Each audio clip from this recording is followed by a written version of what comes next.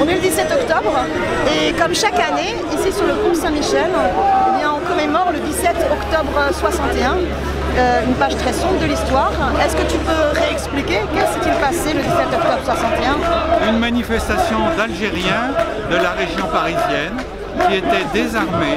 La consigne était de ne porter rien qui ressemble à une arme et qui ont manifesté contre le couvre-feu qui était imposé par le préfet de police de l'époque et par le Premier ministre et le ministre de l'Intérieur qui ont une lourde responsabilité dans cet événement. Et ils ont été réprimés avec une très grande violence, faisant plusieurs centaines de morts, de l'ordre de 200 pense-t-on. Voilà, donc c'est un événement très grave qui a été nié pendant des dizaines d'années, qui a été euh, effacé en quelque sorte de la mémoire nationale euh, de manière scandaleuse. Euh, quand des historiens britanniques ont travaillé sur le sujet, ils ont dit que c'était la plus meurtrière des manifestations, des répressions d'une manifestation pacifique dans toute l'histoire de l'Europe occidentale, depuis la Révolution française. Hein. Donc euh, c'est vraiment un événement gravissime et un événement qui a été complètement nié dans l'histoire officielle. C'est vraiment essentiel de, faire ce devoir de mémoire. Il y a encore toujours des batailles hein, sur l'accès aux archives. Euh, euh, c'est pas toujours, tout n'est pas gagné encore. Il y a toujours une bataille aussi pour que ce soit transmis dans l'enseignement d'histoire. voilà. Et je pense qu'il faut vraiment ne jamais perdre de vue pour moi que d'un côté et de l'autre de la Méditerranée, on est un même peuple et qu'on ne peut pas construire une communauté de destin s'il n'y a pas un devoir de, mémoire qui est fait sur le passé. Et ça, c'est essentiel. Après, je pense qu'on est aussi une période particulière aujourd'hui, parce que d'un côté et de l'autre de la Méditerranée, il se passe des choses euh, qui sont très mauvaises, que ce soit ici en France où on voit euh, un racisme anti-musulman qui se banalise, hein, qui est toujours la même logique, on cherche le bouc émissaire pour occulter des sujets sociaux pendant qu'on casse les retraites, hein, c'est vraiment euh, monstrueux. Donc, et puis en Algérie, il y a par contre un peuple qui donne une leçon au monde à sa révolution citoyenne, mais qui subit aussi une répression extrêmement importante. Il y a une mobilisation de solidarité avec les prisonniers politiques contre le délit d'opinion, et je pense que c'est important aujourd'hui de se retrouver nombreuses et, nombreux euh, pour euh, se commémorer le 17 octobre 61 et avoir une solidarité aujourd'hui et maintenant avec euh, toutes et tous ici qui peuvent subir le racisme et là-bas qui se battent pour la liberté, l'émancipation, une nouvelle constitution contre la logique oligarchique parce que c'est notre même émancipation qu'on recherche d'un côté et de l'autre de la Méditerranée. Tout à fait d'accord. C'est une lutte qui est convergente, si je puis dire. Et à l'époque du 17 octobre, des Français se sont manifestés par leurs gestes de solidarité, ont aidé la Fédération de France du FLN à mener leur guerre d'indépendance nationale légitime. Et aujourd'hui encore, ben, des Français se trouvent à côté des manifestants euh, algériens qui euh, soutiennent ce qui se passe actuellement en Algérie qui est important avec euh, Sanadja Akrouf, qui est une des responsables du mouvement Agir pour le changement et la démocratie en Algérie.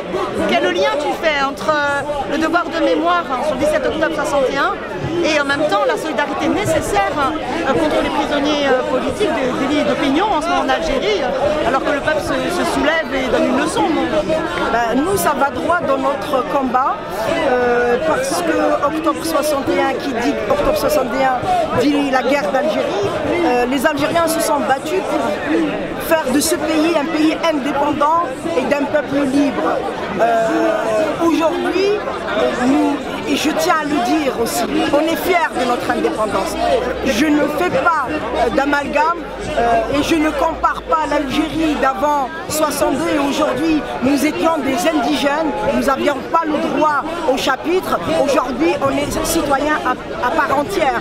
Nous nous battons, ce n'est pas facile, mais le lien est important que euh, la guerre d'Algérie, elle, s'est faite en partie en France. Le mouvement ouvrier, CGTisme, les etc., étaient les premières pierres qui ont été posées avant novembre 54. Et nous, nous, nous, réclamons de ce mouvement. Nous nous réclamons pour dire que nous sommes partis de l'Algérie. Nous ne sommes pas solidaires de l'Algérie, nous sommes partis de l'Algérie. Nous, nous réclamons de ce mouvement aussi pour répondre à ces différents pouvoirs depuis l'indépendance qui nous culpabilisent d'avoir des liens. La France insoumise, elle a été maltraitée en Algérie, on lui a reproché l'ingérence, etc.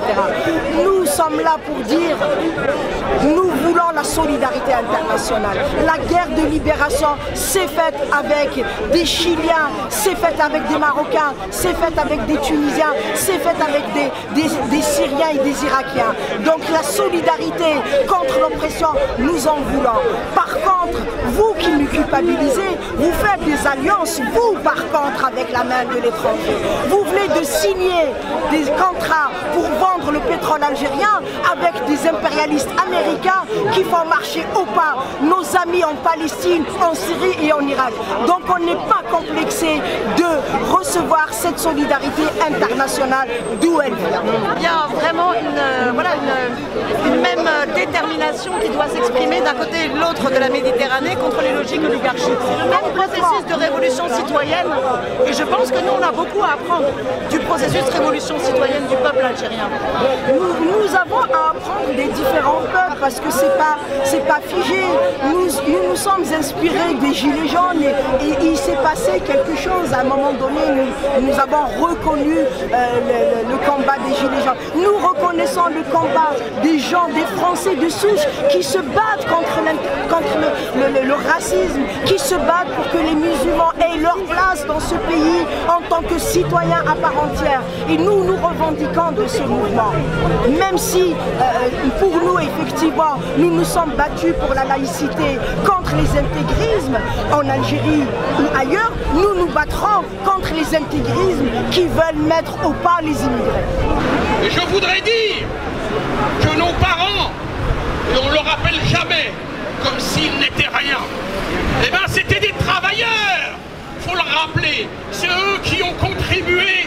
Par exemple, saviez-vous, eh bien, à creuser le métro de Paris par lequel vous êtes venu tout à l'heure? Oui, le métro de Paris a été creusé par les Algériens, entre autres.